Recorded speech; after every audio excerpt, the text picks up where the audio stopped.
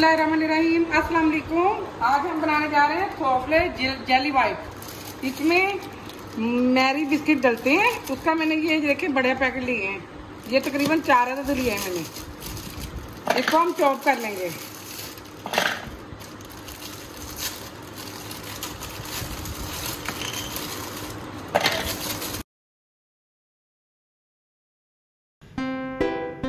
ये देखिए बिस्किट हमारे हो गए हैं चॉप।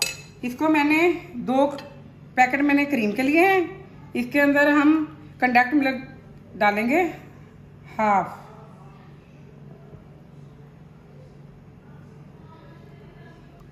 ये 50 ग्राम मैंने मक्खन लिया था और इसको गर्म कर लिया है। वो मैं इसके अंदर ऐड करूँगी और इसको मिक्स कर लूँगी। आप देख सकते हैं और भी ऐड कर सकते हैं, थोड़ा सा मक्खन अगर कम लगे तो।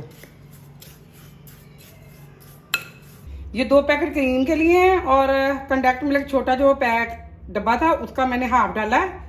आप फिर भी अपने मुताबिक मीठा डाल सकते हैं। ये देखिए, अब हम इसको बीट करने लगे हैं।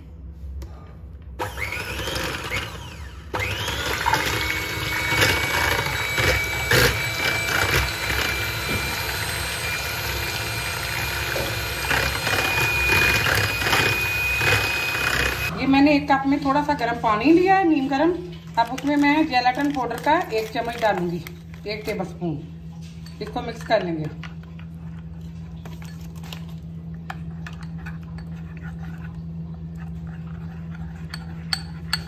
ये जेलाटन पाउडर जो मैंने पानी में मिक्स किया था, वो अब इसके अंदर ऐड कर देंगे और इसको अच्छी तरह बीट करेंगे।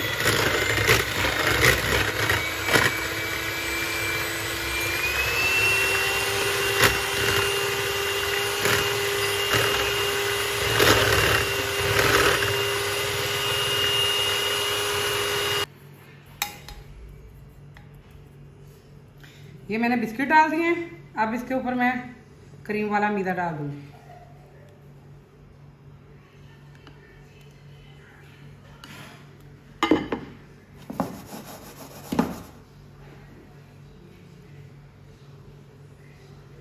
डाल दें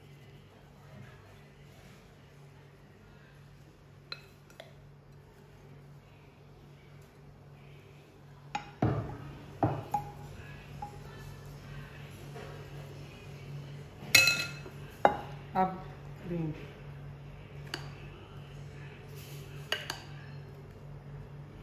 ये मैंने अब इसके ऊपर स्प्रिंकल ऐड किए हैं।